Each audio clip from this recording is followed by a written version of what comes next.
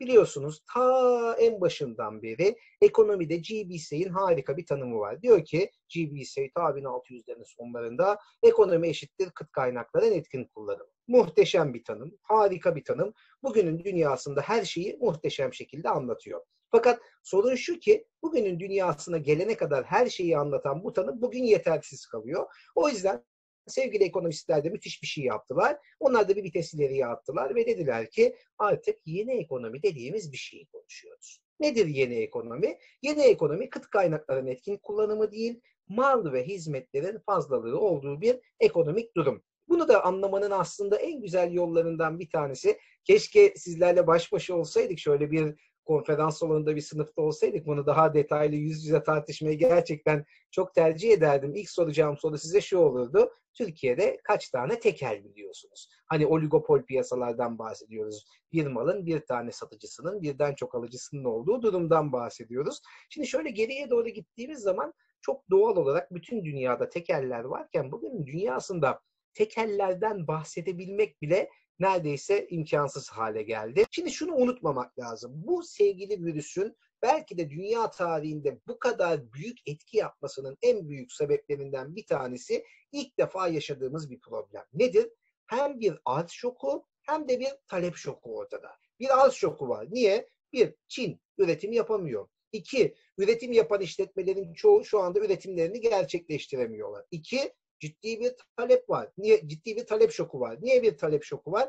Çok doğal olarak bizler de daha evvel talep ettiğimiz ürünlerimizi artık talep etmiyoruz. Eskisi gibi ürünleri satın almıyoruz. Dolayısıyla ilk defa arz şokunun ve talep şokunun beraber yaşandığı bir krizle beraberiz. İşte belki de en büyük değişimlerden bir tanesi de arz şoku ve talep şokunu aynı anda yaşıyor olmamız ki bu da gerçek anlamda bir değişim getiriyor.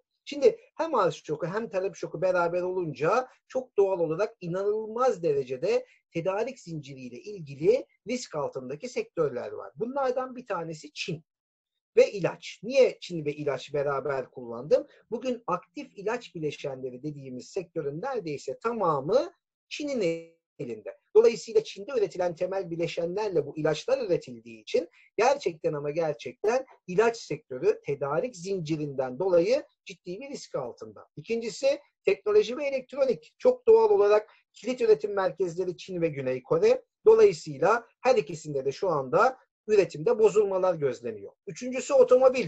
Biliyorsunuz sadece Çin ve Güney Kore otomobillerin değil aynı zamanda otomobil parçaları içinde inanılmaz değerli. Hele özellikle de araç elektroniği için. Dolayısıyla Çin'de yaşanan, Güney Kore'de yaşanan problemler otomobil sektörünü tamamen etkileyecek. Örneğin Hyundai Kore'de üretimi geçici olarak kapattı. Nissan Japonya'da aynısını yaptı. Dolayısıyla bir diğer taraftan da tedarik zinciri sonucunda böyle bir sorunumuz var. Çok enteresan bir şekilde oyuncaklar.